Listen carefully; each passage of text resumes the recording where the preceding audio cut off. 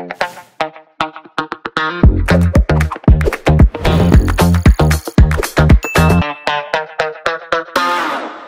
your printer remember you like your computer does?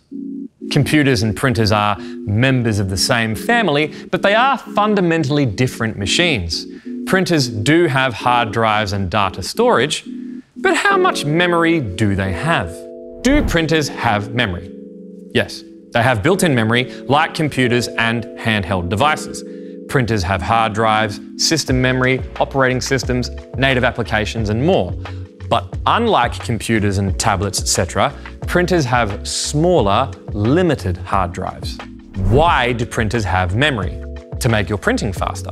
Printers need a little bit of memory to help them store and process print jobs.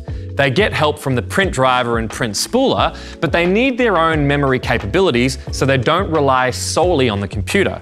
It's just sharing the load.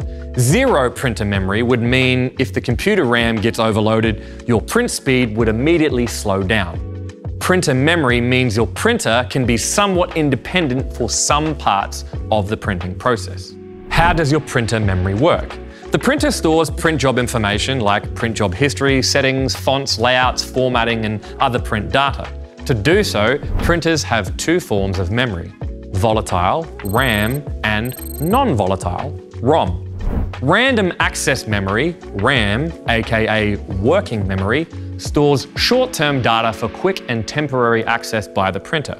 It's called volatile memory because it's forgotten by the printer once it's powered down. Read-only memory, ROM, is long-term data storage. It's non-volatile because it can't be easily modified or erased. Unlike RAM, ROM data storage is permanent and isn't forgotten when the printer is powered down.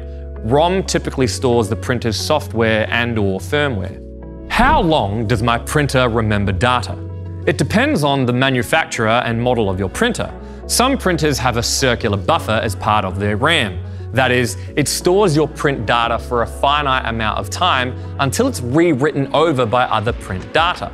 Your circular buffer capacity is the same as your printer's RAM, so if that's 132 megabytes, your printer can remember one print job for one full cycle, starting from where that print job first occurred. Is printer memory a security risk? It can be. Typically, malicious actors aren't concerned with the big grey box, but they will target your printer as an entry point into your network. But when disposing of your physical printer, you should wipe it of all print data just to be extra safe. How do you remove printer memory? For regular RAM, just turn the printer off and on again.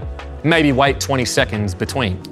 For the circular buffer, you can print a bunch of non-confidential documents for the full RAM capacity, or to be totally secure, just do a full factory reset.